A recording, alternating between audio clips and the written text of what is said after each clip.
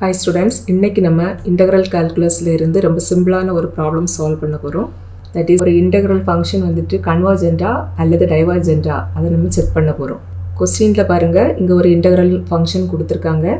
அந்த ஃபங்க்ஷன் எப்படி இருக்குதுன்னா one divided by x minus two the whole power three by two இந்த integral function கன்வர்ஜென்டா டைவர்ஜென்டா அதை தான் நம்ம இப்போ செக் பண்ண போகிறோம் ஃபர்ஸ்ட் நம்ம வந்துட்டு இந்த கொடுத்துருக்கிற லிமிட்டில் இந்த ஃபங்க்ஷன் கண்டினியூஸானு பார்த்துடலாம்.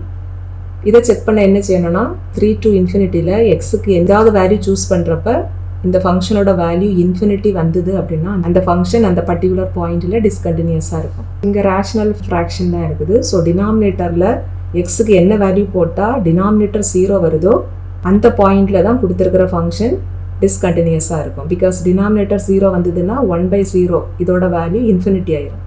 இங்கே நமக்கு லிமிட் வந்துட்டு த்ரீ டு இன்ஃபினிட்டியாக இருக்குது. இதில் நீங்கள் எக்ஸுக்கு என்ன வேல்யூ போட்டாலுமே டினாமினேட்டர் ஜீரோ வராது.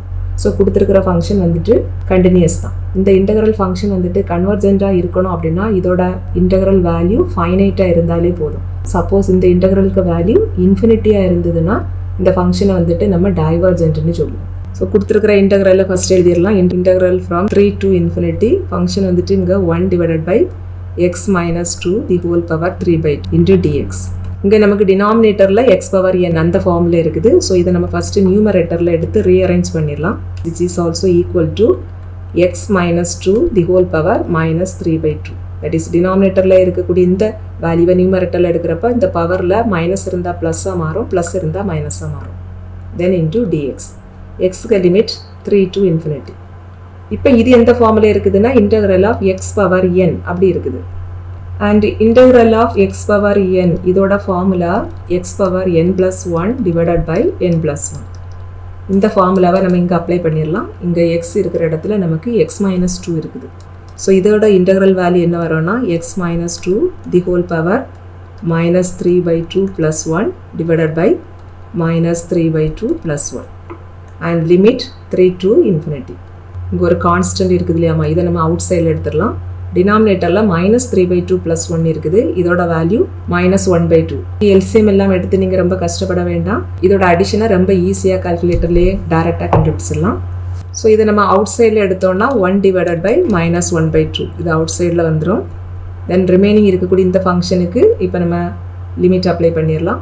ஸோ ஃபஸ்ட்டு எக்ஸுக்கு பதிலாக இந்த அப்பர் லிமிட் இன்ஃபினிட்டி சப்ஸ்டியூட் பண்ணணும். ஸோ இங்கே நமக்கு இன்ஃபினிட்டி மைனஸ் டூ வரும். இன்ஃபினிட்டி மைனஸ் டூனா இன்ஃபினிட்டி தான்.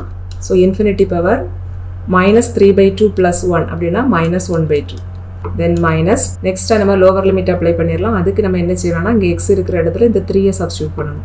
ஸோ நமக்கு இங்கே three minus two the whole power minus one by டூன்னு வரும். That is one power minus one by two but one power any constant is one தான். Because ஒன்னை நீங்கள் எத்தனை டைம் மல்டிப்ளை பண்ணாலும் ஒன் தான் வரும்.